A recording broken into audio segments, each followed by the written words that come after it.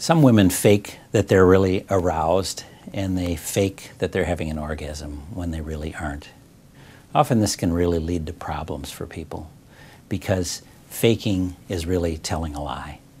And what works so much better for couples is to have honest communication, whether it's verbal or nonverbal in the bedroom kind of communication. So for couples who've been doing that, the suggestion that I often give is to have a real honest discussion about that.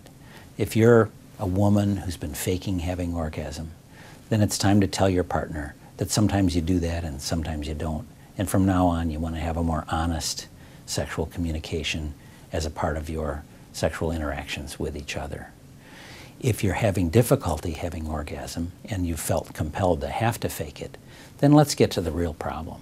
And that is figuring out how the two of you can learn better for you as the woman to have a real orgasm and to have real sexual pleasure. And then your partner doesn't have to wonder, is this a show or is this the real deal? The real deal is always better.